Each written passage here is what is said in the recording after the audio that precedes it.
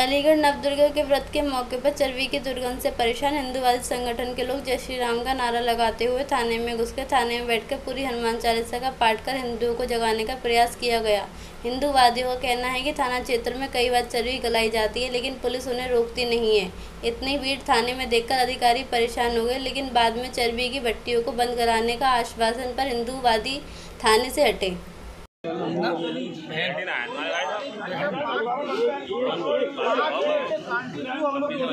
कार्रवाई के नाम से क्या कार्रवाई के नाम से क्या उससे क्या हो। रहा है। तमाम में फल लग जाती है। तमाम में फल लग अरे भैया क्या गारंटी ले रहे बेटा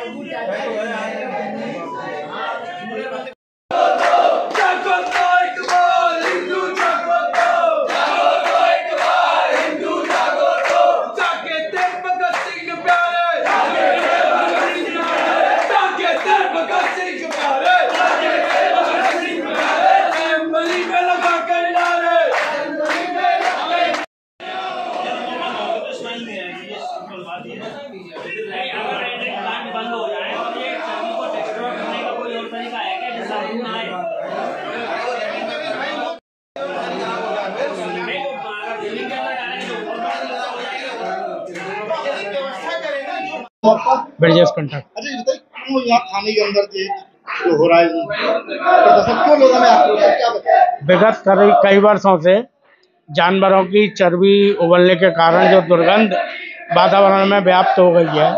इस समय हमारे पवित्र नवदुर्गा पर्व चल रहे हैं और हम लोग कामसी भोजन से भी व्रत रहते हैं। उसके उपरांत हमको ये बदबू झेलनी पड़ रही है पूरे शहर को आम जनमानस को। उसको रोकने के लिए ये आज आंदोलन किया जा रहा है। थाने के अंदर क्या कर रहे हैं?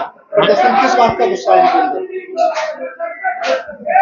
गुस्सा नहीं है ये तो हम क्षेत्रीय पुलिस से निवेदन कर रहे हैं और हमने अपना एक वो दिया है ज्ञापन दिया है जिसमें लोगों के कचीगरों के उन्होंने कहा है कि जो मूलभूत जड़ है यानी कि चोर की अम्मा उसके विरुद्ध कार्रवाई करने का ठोस आश्वासन दिया है। पढ़ रहे हैं हम्म, पढ़ रहे हैं वो आंदोलन के क्रम में है। देंगे नहीं क्या? हाँ। अच्छा किस तरह का ये मामला चल रहा? थाना घिरा हुआ है। इस संबंध में हम लोगों की टीमें जो है मजिस्ट्रेट और प्रदूषण विभाग की और पशुपालन विभाग की सभी जो है वो कार्यरत हैं और बदबू के के लिए सभी प्रयासरत हैं और इसमें जो कुछ भी अवैध रूप से जिनके द्वारा वेस्टेज भंडारण किया गया था, उनके विरुद्ध मुकदमे लिखे गए और उनको गिरफ़्तार कर अनावश्यक की कार्रवाई भी की गई है। लगातार हम लोग इस प्रयास में इस समस्या से निजात पाएगा सर, थाने के अंदर हनुमान चालीसा हो रही है और अन्य वो हो रहे हैं प्रोग्राम वगैरह, क्या कहेंगे आप?